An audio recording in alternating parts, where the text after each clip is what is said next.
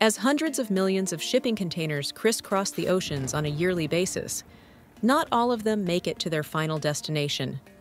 Hundreds, or even thousands, of cargo containers become lost at sea in the process, and the contents of their containers spill out into the ocean.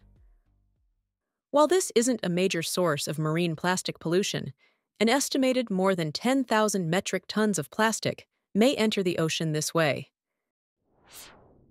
There are many reasons for this kind of container loss, but the most straightforward one is numerical.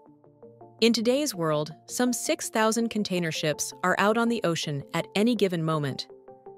The largest of these can carry more than 20,000 shipping containers per voyage. Collectively, they transport a quarter of a billion containers around the globe every year.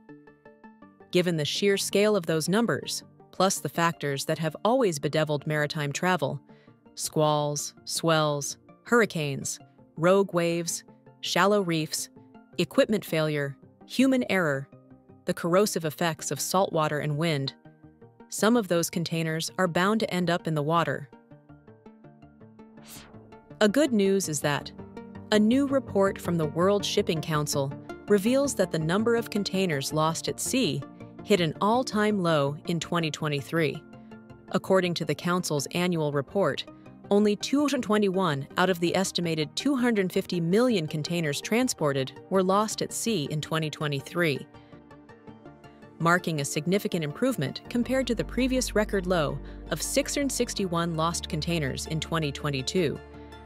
The report also highlights that about a third of the 221 containers lost were recovered. So, what about the unrecovered containers?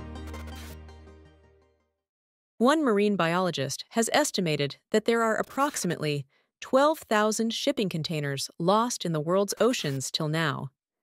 Being steel, most general purpose containers sink quickly due to damage and cargo weight. Some take longer to sink due to cargo buoyancy or foam wall construction. Floating containers can drift many hundreds of kilometers before breaking up, sinking, or stranding on coastlines. If buoyant, discharged contents can travel even further, affecting locations long distances from the original incident, this will result in happening of pollution on that large area. Cargo contents are the most diverse source of harmful pollution. Most common are synthetic plastics, found in cargo items and packaging. Plastics are persistent, break down to mimic food, float where they can be fed on by marine species and birds, and chemically attract and concentrate other poisons. Cargoes also contain other chemicals. Substances that are inert outside the ocean environment can become dangerous in the water. Food and organic materials can break down in their packaging or the container and generate poisonous gases like hydrogen sulfide or remove oxygen from the water through bacterial growth and death. Nitrogen rich chemicals used for fertilizer or fire extinguishers are benign on land, but are super fertilizers in the ocean. Any number of chemicals, from flea collars to refrigerants, carried in the container cooling systems can become poisonous, either immediately or building up over time. Containers alone create pollution. If steel, they will rust over many years, and iron oxide is poisonous to many species. Insulation foam is one of many synthetic polymers that will degrade over time and add to the ocean plastics load.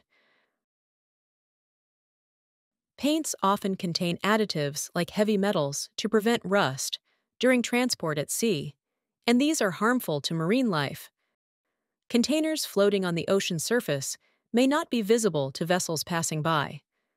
The risk of collisions increases, and vessels may suffer significant damage so each and every containers must be recovered from the oceans. And fortunately, more regulations in shipping industry are coming into effect, so we can definitely expect to see much fewer incidents of lost sea containers in the future.